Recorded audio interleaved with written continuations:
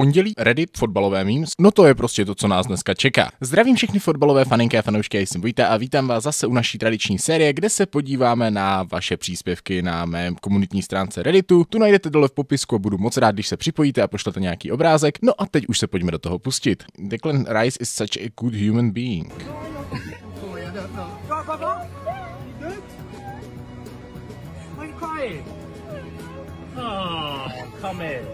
Hmm. To je fakt hezký, jako ale ne vždycky vidíte fotbalisty se chovat takhle milé k těm fanouškům, jo, a upřímně nevím teda, po kterém to bylo zápase, je možné, že ten zápas vyhráli a to se ti samozřejmě lépe dělá takovéhle gesto, ale myslím si, že to musí být v člověku, když se takhle zareaguje, jo. Real versus City, OK. Já, si, já si to rád pustím, jenom že tohle, tohle prostě YouTube mi bude copyrightovat, já se omlouvám, tohle vám tady musí vystříhnout. Nejlepší post Fortuny v historii, jak dopadne vyhecovaný bratrský duel. Jste ztratěni jako český turista ve Vysokých Tatrách. Už vím, proč se říká držíš to jak Slovák hokejku. Byl to hodně vyrovnaný zápas, já jsem ho samozřejmě sledoval. Myslím si, že jsme byli lepší, ale Slovensko klidně v tom zápase mohlo vytěžit víc než prohru 2-3. Navíc dvakrát vedlo a jako zatrnulo nám. Slováci pak zvládli svůj další zápas, my taky máme 6 bodů, oni 3. Dneska se uvidí, jak se zadaří nám a také Slovákům proti Kanadě, takže eh, po dnešku může být situace v tabulce úplně jiná než je teď, ale oba týmy si myslím, že mají dobře nakročeno v postupu dál do čtvrtfinále a boje o medaile. Momentka z oslav, když slaví Neapol titul, ty jo. výrazná oslava teda, výrazná. Some of my favorite football stadiums I've made so far. OK, cože? Tak to je neskutečné, to vypadá fakt jako úplně skvěle, ty jo. To je krásný jako nástěný obraz, kámo. To fakt jako, že tohle je obraz, který když dáš na stěnu, tak nemus, nemůžeš tvát ani tvoji přítelkyni, která nesnáší fotbal. To, to vypadá fakt extrémně pěkně totiž. Ty děláš jako kdyby tady ty kluci ze Slovenska vůbec nebyli. Eh, přesně. Do mého světa nepatří. Jasný, vole. Od co mrdí, jo. line Já jsem viděl jenom první sérii a část třetí, ale jako věřím, že bych si asi měl doplnit vzdělání podle některých klipů. Další důležitá hlavička, která vytáhne do pokutového území. na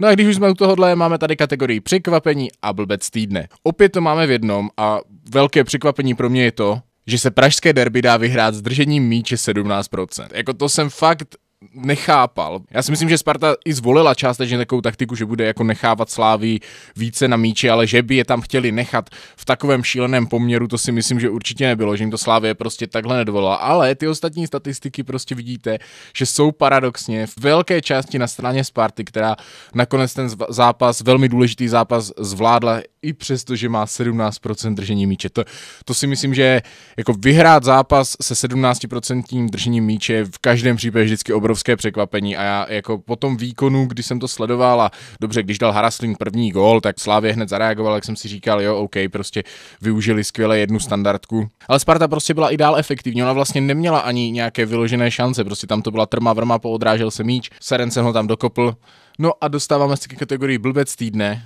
protože to je jednoznačně Ogbu za tady tenhle ten úplně nesmyslný zákrok. Podívejte se na to, tady v celém tom prostoru, tady nikde nikdo, tady je nejbližší Spartany až za vápnem. Kdyby Mabil ten míč odcentroval, nebo prostě ho zasekl cokoliv, tak se vrátí tam celá obrana Slávie, dost pravděpodobně z toho nic nebude a on udělal naprosto zbytečný sklus prostě faul to za mě byl, jo, můžeme se bavit přísné, přísné, ale faul to prostě byl, co si budem povídat zbytečný, přitom Ogbu prostě poslední dobou byl jeden z nejlepších hráčů Slávě a udělá takovouhle minelu, kterou dost pravděpodobně mohl připravit svůj tým o titul, protože teď už to má Slávě v podstatě nemožné, dá se říct.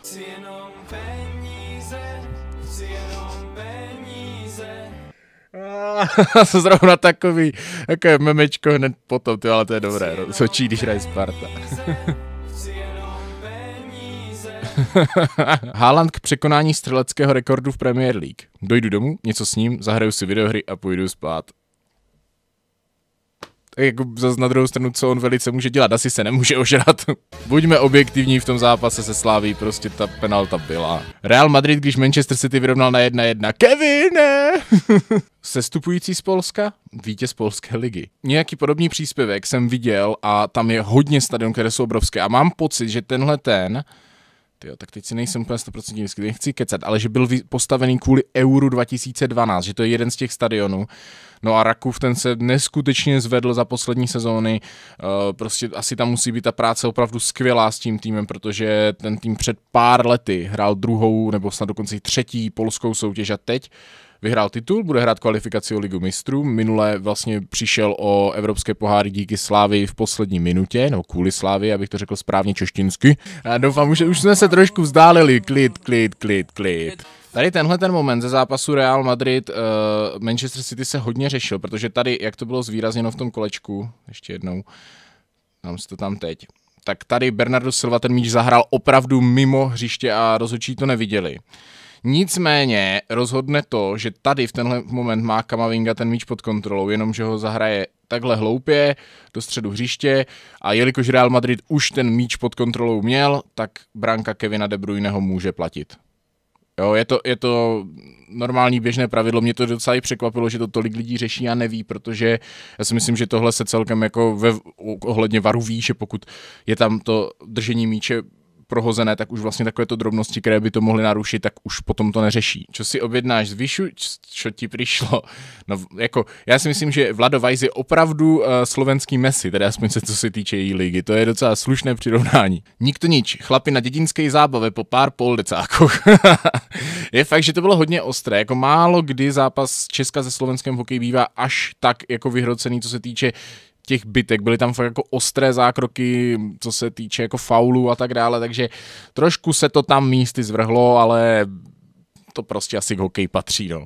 FC Košice postupují do Fortuna ligy. Tyjo, to už je asi extrémně dlouho, co Košice nehrají nejvyšší soutěž, ne? Napište mi někdo do komentářů, jak je to dlouho, tyjo. Dres Ondry Lingra z finále Molkapu, no tak lepší než z toho minulého derby. Ale jako to je dobrý úlovek, tyjo, mít, mít dres, který byl hraný přímo ve finále Molkapu, pěkné. Football's last hope. jako myslím si, že tenhle pohled má hodně, hodně fotbalových fanoušků, že prostě City není úplně oblíbený tým, co si budeme povídat. Bruno, keď mal 18, tyjo, to, ne, fakt, to nemůže být Bruno. To nemůže být Bruno Fernandes, ne. top 5 nejstarších hráčů, kteří jako hrajou v poli v semifinále Champions League. Zlatan, který ale není na listině, 37 let Luka Modric, 37 let Jeko, 36 let Giroud a 35 let Benzema. Všichni pořád platní, extrémně platní. To je dobrá halus, no, že jsou to... Prostě ta, ty zkušenosti v takovýchto soutěžích někdy mohou převážit prostě dravost, schopnosti jako s míčem a tak dále. Prostě může to být někdy fakt ten rozhodující jazyček na vahách, no. Rodrigova oslava byla pro malého fanouška Ignácia, který nedávno porazil rakovinu se, a se kterým se Rodrigo seznámil při návštěvě onkologického centra. Tak to je taky krásné gesto. To je jako opravdu jak jsme tam měli na začátku toho rajse, tak tohle je možná ještě obdivuhodnější, že, nebo obdivuhodnější, prostě ještě větší gesto, protože pro toho kluka to musí znamenat extrémně moc. Pokud by Harry Kane zůstal v Norwichi, vyhrál by tři trofeje. Kdyby Harry Kane zůstal v Leicesteru, vyhrál by Premier League a FA Cup. Ty vole, jako tento Tottenham je opravdu jako prokletý. Teď to říkám, když se díváš na trofejovou vitrínu Tottenhamu, wow, such empty. Slovan Bratislava vyhrál pátý titul za sebou, majstriš Slovenska. 2019, 2021, 2023. Letos to ale nebylo tak jednoznačné. Dunajská streda dlouho vedla tabulku, dokonce si myslím, že měla tak pěti nebo šesti bodový náskok v jednu chvíli, ale Slovan to prostě urval je jako jasné, že Slovan prostě co se týče rozpočtu a kvality prostě asi je tím nejlepším týmem na Slovensku prostě jako zaslouženě a vyhrál zase zaslouženě, ale jako člověk má rád, když se to občas změní, ne? Jak v Německu, tam to vyhrává furt Bayern. Vždycky, když už se někdo stane naším trenérem, tak se snažím za ním jako stát, ale já úplně nejsem nadšený, ale zase na druhou stranu on ten výběr taky nebyl nějak extrémně široký, co si budeme povídat. A taky druhá věc je, komu by se teď po téhle sezóně k nám úplně chtělo, že Sparta na tebo vyhrává, panik, vyrovnal si to, kam. Penalta v poslední minutě, panik, panik, panik, panik, panik. Jeden stadion, hrát klasicky jeden zápas doma a druhý zápas venku, hrát oba zápasy na stejném stadionu. Tohle je vlastně strašně zajímavá situace, jako to je pravda, jo. Tak to samozřejmě všichni víme, že hrají oba na San Siru. Ale je to fakt jako zajímavé, že se prostě tady tohle stane. Že jako ještě zajímavější by to bylo, kdyby platilo gól jako pravidlo venkovního gólu. A teď třeba tam to AC vyhrálo jako 3-1 nebo něco takového. A to by bylo strašně zajímavé. 0-3 a 10 domů, jo. To jsou jako už fanoušci Arsenal, kteří opouštěli ten stadion v téhle minutě. Jo, takhle. Ty vole tak ono jich je tam asi hodně, možná je i vhodné odejít trošku dříve, abyste se vůbec z té tlačnice nějak normálně dostali. Bývalý Tureho agent Dimitri Seluk. Můžu potvrdit, že šamani kledbu na Guardiolu odvolali. Myslím, že teď už ligu mistrů s Manchesterem City získ. Za mě jasný blbec týdne, no, jsem rád, že to někdo potvrdil můj názor. Já potom, co jsem sadil na výhru domácího v odvětě AC vs Inter, I was a businessman doing business. I když Kazachstán být překrásná země, i my tady mít problémy. Třeba, že vás porazilo Česko, hahaha. Maria, tohle byla sračka. Ježíši, proč mě to pobavilo? To je oficiální TikTok národního týmu. OK. Nemít pomoc rozhodčí Ordro 25 cards Sparta. Jako to je fakt... Nejhorší je, že oni prostě třeba fakt ty penalty i s odstupem času prostě můžu říct, že se dali odpískat všechny, ale prostě, když se to děje v téhle minutě, tak vždycky prostě kolem toho je strašná kontroverze a prostě musí to i ti Spartani pochopit, že prostě ta veřejnost to nebude úplně dobře kousat, byť samozřejmě, jo, vem, vem, realita, jo, kdyby Slávě kopala takovou penaltu v 96. minutě, tak všichni slávisti řeknou, že byla jasná. Netvrďte mi, že ne, jako netvrďte mi. U těch v Liberci se dalo fakt daleko víc spekulovat. Tam to bylo hodně, hodně jako na hraně spoustu těch věcí a myslím si, že VAR do toho třeba nemusel vůbec stoupit. Ale tady to prostě rozhodčí černý odpískal na hřišti a podle mě to odpískal naprosto správně a stejnou penaltu by podle mě musel fouknout i na druhé straně. To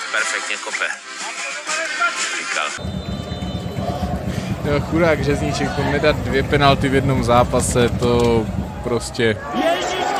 To perfektně kope. Říkal. Koho bych to nechtěl, komalička? Prosím!